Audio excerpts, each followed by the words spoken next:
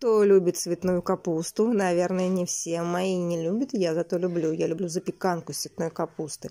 Итак, нам нужно ее обрезать все, промыть обязательно, потому что там попадаются червячки такие зелененькие, если настоящая капуста с огорода. Мы ее, кстати, тоже замораживаем. Делаем смесь, как на омлет. Яйца, молоко.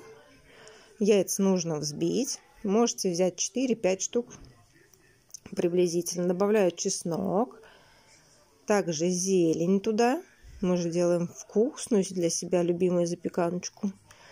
Складываем все. Перчик, соль и молоко. Все это взбиваем, а в это время мы ставим варить капусту до полуготовности.